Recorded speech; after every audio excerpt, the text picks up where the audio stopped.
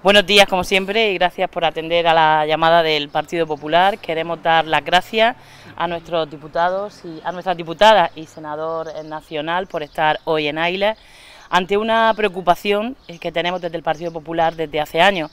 Como sabéis, la pasada legislatura se intentaron llevar desde el Ministerio el SEPRONA de nuestra localidad, gracias precisamente a la labor de nuestros senadores y de nuestros diputados, conseguimos parar esa intención de llevarse de aquí el Seprona, pero de nuevo ese intento está encima de la mesa. Hace apenas unos meses la plaza que ha quedado vacante del Seprona en Águila ya se ha ofertado en Lorca.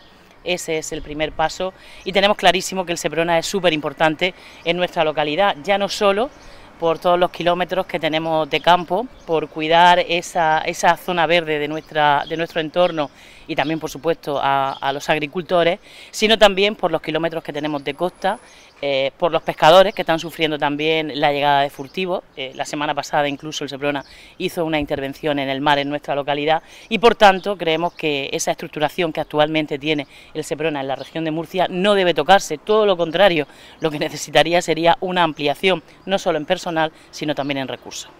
Pues seguimos trabajando para que el Seprona no se desmantele. Lo hicimos en el año 2022, lo conseguimos, conseguimos que no se desmantelase en Águilas y en otros municipios de la región de Murcia y así lo estamos pidiendo en el Congreso y en el Senado de manera insistente.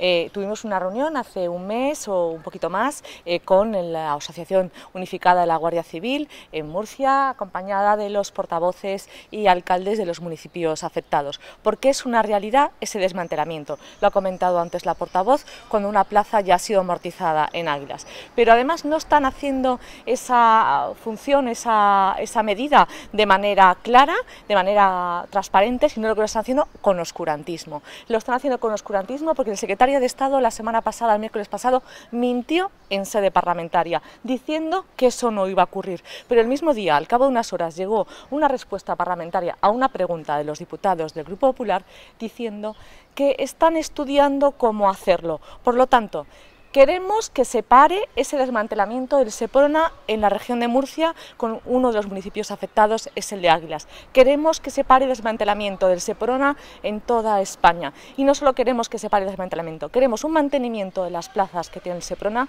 y, si es posible, en el corto plazo, el corto y el medio plazo, aumentar los medios materiales y humanos para que tiene el SEPRONA. Es un servicio fundamental para la región de Murcia, es un servicio fundamental que tiene la Guardia Civil para protegernos a todos, para proteger nuestro medio ambiente.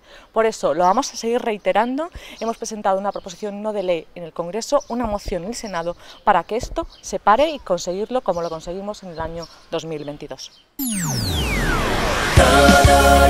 saber en infoaguilas.es.